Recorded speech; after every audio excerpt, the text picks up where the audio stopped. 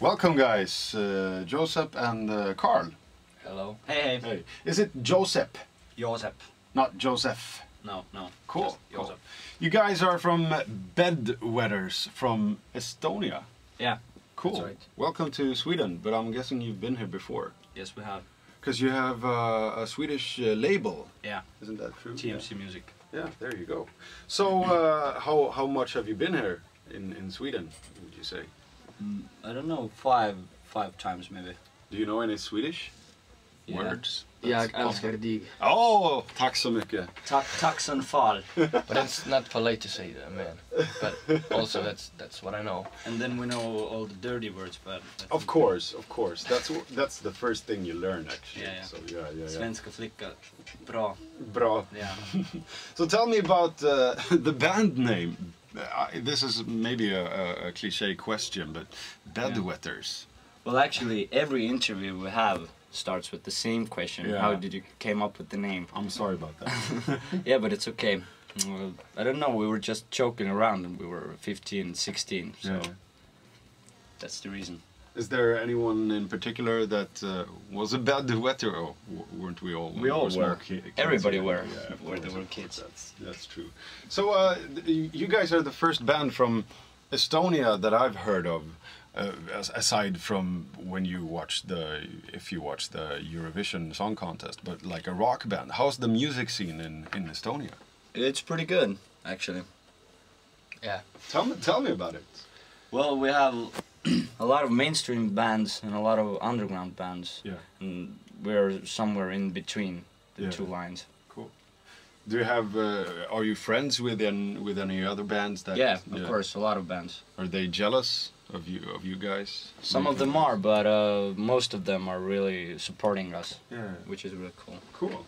And you guys won an MTV award as, Yeah. as like the first music act in Estonia to do that too. Yeah, yeah. How's that? Well, it was pretty amazing. Who gave you like the award during Snoop, Snoop. Snoop Snoop, Snoop. Dogg for Snoop Dogg Shizzle. and That's Nell- pretty- Nelly Furtado. Oh, that's pretty Yeah. cool. Did you guys talk to them? Any, Yeah, of anything? course. Yeah. Yeah. Was Snoop as Yeah. cool as he seems? Yeah. Like laid Even back. and- cooler. yeah, The well, first- I can imagine. The first thing. Snoop uh, told us that you guys are gonna win this award for sure. So after we were on the stage show, Yeah. Snoop told me that. I told you guys. That's Yeah. pretty cool. Yeah. So uh, tell me about the the album. Is uh, it, it's your first album? Yeah. And it's uh, produced by a Swedish guy, right? Yeah. Peter Lantz. And he uh, he was in a band too. Lambretta. back. Lambretta. He was in. Yeah, that's right. How was it working with him? And where did you record it? We recorded it in Peter's home, home studio. Yeah, yeah. Here in Sweden. Yeah, but it, It it was a was, in a town, town. called Floda, near Gothenburg. All right. The smallest city in the world. You think? Yeah. it was really small, and there lived only Dead people. dead people. Yeah, zombies and dead people. Actually, it wasn't that bad, but it was really, really small town. So you guys were pretty focused on recording, Yeah, and you yeah. couldn't go out and party and, stuff. And stuff. we ate pizza all the time because Yeah. they had only one pizza bar there. And they started to recognize you guys. Yeah.